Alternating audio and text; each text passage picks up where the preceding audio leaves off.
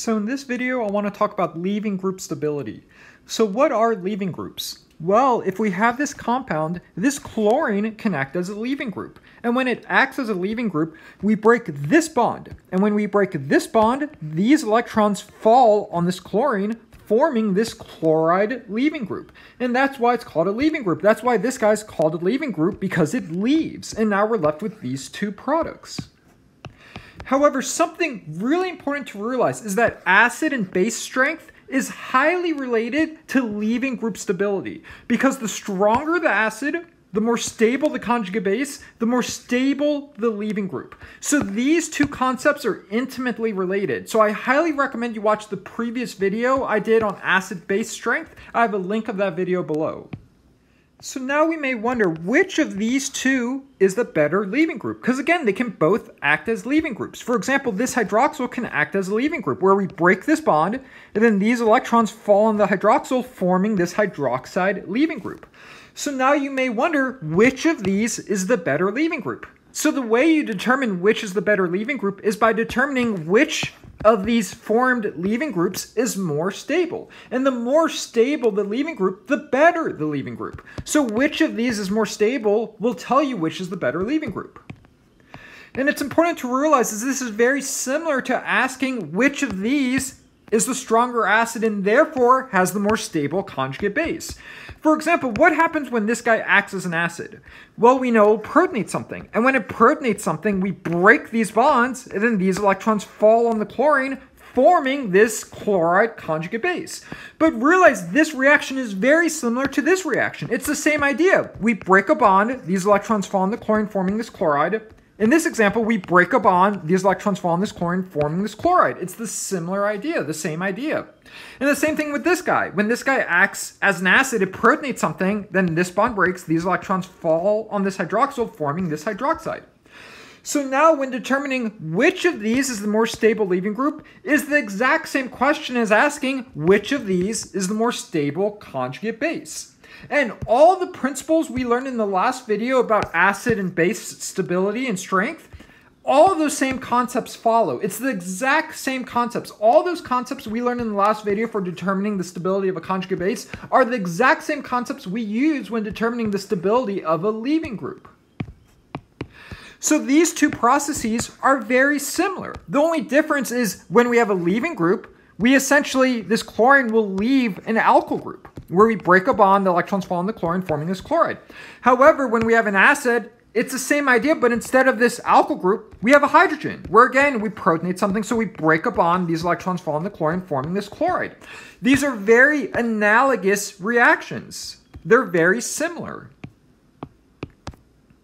So now you may wonder which is the better leaving group. You may wonder which of these is a better leaving group. Well, it's the exact same question as asking which of these is the more stable conjugate base. So how do you determine which of these is more stable conjugate base? Well, again, in the last video we learned, you look at the pKa's of the acids, their acid forms. And we learned in the last video, the lower the pKa, the stronger the acid. So you would look in a chemistry textbook and see that this guy has a pKa of negative 6, while this guy has a pKa of 14. So therefore, this guy has a lower pKa, so therefore, this guy's a stronger acid. So because it's a stronger acid, we know it forms a more stable conjugate base. And this guy's a weaker acid, so therefore, it forms a less stable conjugate base. And again, we learned this in the last video. So now we know this conjugate base is more stable than this conjugate base, so therefore this leaving group is more stable than this leaving group, because again, it's all the exact same concepts. So again, this video is really building on the concepts we learned in the last video, so I highly recommend you watch the last video if this did not make sense. So therefore, if you're asked in an exam which of these is the more stable leaving group, well, there's a simple algorithm you use. When you're asked which of these is the more stable leaving group, you have to imagine them in the acid form. So instead of these alkyl groups, you imagine them in the acid form. So then you compare the acids. And again, the acid with the lower pKa is the stronger acid. So if it's a strong acid, it's going to form a very stable conjugate base. And if the conjugate base is very stable, therefore that analogous leaving group will be stable. And it's just that simple. And again, if you're asked, is this a stable, does this, is this guy a stable leaving group? Well, you imagine this guy as an acid. So instead of this alkyl group, imagine it as an acid. And you look at the pKa. And if, if it has a high pKa, you know it's a weak acid.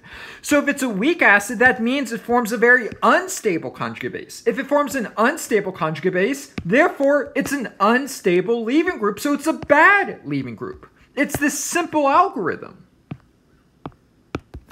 And again, all the rules we learned in the last video for determining the stability of, of a conjugate base, those exact same principles follow when determining the stability of a leaving group. It's literally identical. To the chloride, these are the same thing. If this chloride is stable, it's stable. So it doesn't matter if it came from an acid or if it came from an alkyl group. If a chloride is stable, it's stable. It's the exact same principles. So let's try another example. Let's say on an exam you're asked which of these is the better leaving group. Well, again, we know how we solve this. If you're asked this in an exam, the first step is to replace these alkyl groups with hydrogens. So therefore, imagining both of these guys as acids. Now the next step is to look at these compounds and ask, which is the stronger acid? So we know how we do that. We compare the pKa's. And we see this hydronium has a pK of negative 2, while water has a pK of 14. So now we know hydronium is a stronger acid than water. So therefore, we know hydronium is going to be the stronger acid. So the stronger the acid, the more stable the conjugate base. And the more stable the conjugate base, the more stable the analogous leaving group. So now we know. We know this hydronium forms a very stable conjugate base. So therefore, replacing this hydrogen with an alkyl group, we know this leaving group will form a very stable leaving group. And again, it's all the same rules we learned in the acid-base video. All the same reasons why this guy's stable is the exact same reasons why this guy's stable. And again, this is the weaker acid. So it's a weaker acid because it forms an unstable conjugate base, which forms an analogously unstable leaving group. And this is these guys are unstable for all the same reasons, the exact same reasons we learned about in the last video. But notice something important. Realize that this guy's a bad leaving group, and this guy's a good leaving group. Because again, this guy forms a stable leaving group, this guy forms an unstable leaving group. However, we can take this bad leaving group and we can protonate it. If we protonate this hydroxyl, then we form a good leaving group. And this is actually a very important rule of thumb. When you protonate leaving groups, they become better leaving groups. And that will always be true. For example, we know this is a bad leaving group because if this guy were to act as a leaving group, we would break this bond, these electrons fall on this guy, and we form this unstable leaving group. And how do we know that this is an unstable leaving group? Well, again, remember the algorithm. When asking, is this a bad or good leaving group, replace the alkyl group with a hydrogen. And then you look at the pKa and the acidity of this acid. So this guy has a pK of 35, which is extremely high. So this is an extremely weak acid. It's a weak acid because it forms a very unstable conjugate base. So this guy's unstable for all the same reasons why this guy's unstable. So therefore we know this guy's unstable, so therefore it's a bad leaving group. This guy is a bad leaving group because when it acts as a leaving group, it forms an unstable leaving group. So therefore, now we know this guy's a very bad leaving group. It forms a very unstable leaving group. However, remember what we learned before. If we have a bad leaving group, we can protonate it. And if we protonate it, we create a better leaving group. So therefore, even though this guy is a very unstable leaving group, so therefore it's a bad leaving group, if we protonate this guy, if we protonate it, we form a better leaving group. So now this guy's a better leaving group. And when it acts as a leaving group, when we break this bond and these electrons fall on this nitrogen, we form a more stable leaving group. So this is a general rule of thumb that will always be true. Whenever you protonate a leaving group, it becomes a more stable leaving group. So again, the main theme of this video is whenever you're asked whether compound is a good leaving group. The first step is to replace whatever the alkyl group is and replace it with the hydrogen. So you essentially convert it into its analogous acid form. Now you ask, is this a strong acid? And the way you determine that is by looking at the pKa. So we see this guy has a very low pKa. And again, the lower the pKa, the stronger the acid. So now we know this guy is a very strong acid.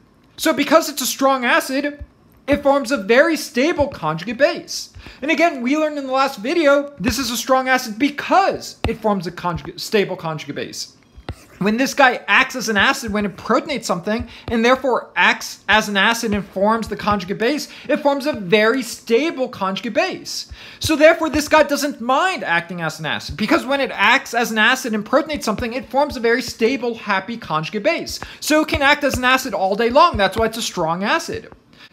So therefore, because this guy's a strong acid, we know it forms a very stable conjugate base. So therefore, we know and we can determine that this compound is very stable. So therefore, because we know this compound is stable, we know this guy's stable. Because again, they're the same compound. And these guys are stable for all the same reasons.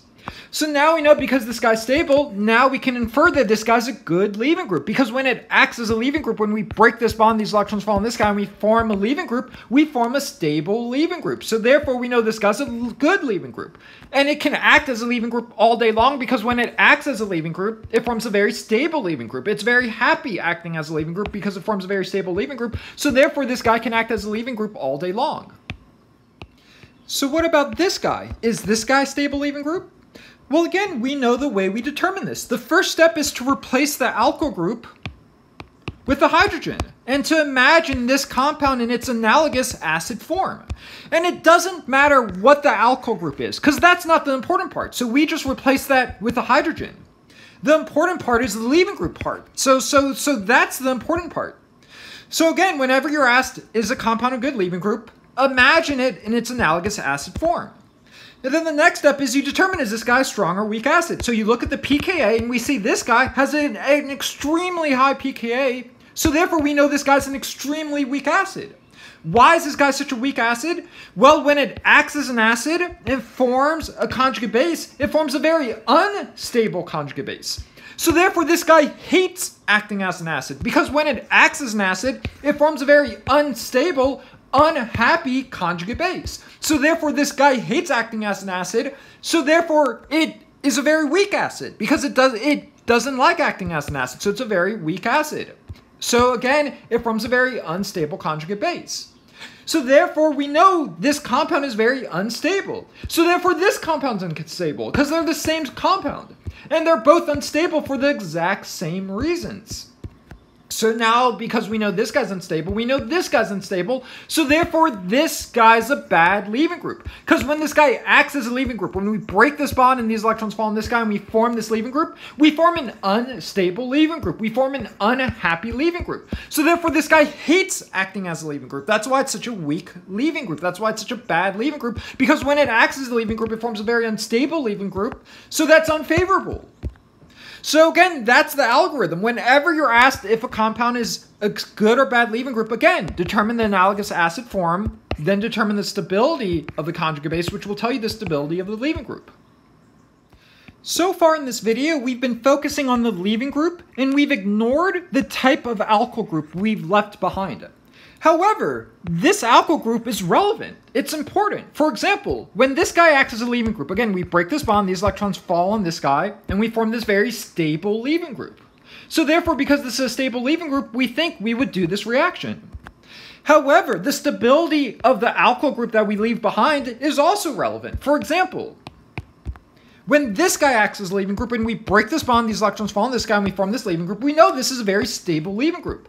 However, what's important to realize is this is an extremely unstable carbocation. So again, when this guy acts, acts as a leaving group, we leave behind a very unstable carbocation. So therefore, this reaction is unstable and unfavorable. So even though the leaving group that's formed is stable, the carbocation that's left behind is unstable, so therefore this reaction is not very likely, is not very favorable. However, this reaction, when this guy acts as a leaving group, we break this bond, these guys, these electrons fall in this guy, we form a very stable leaving group. However, this carbocation is also relatively stable. It's a tertiary carbocation, so we know this is relatively stable, so therefore this reaction is more likely and more favorable. So again, in the first video, we spoke about stabilities of carbocations. So again, I have a link of that video below. But again, this concludes my video on leaving groups. So the next video, we're going to talk about induction and resonance. And then the next video, we'll talk about melting points. And then that concludes my series on organic chemistry principles.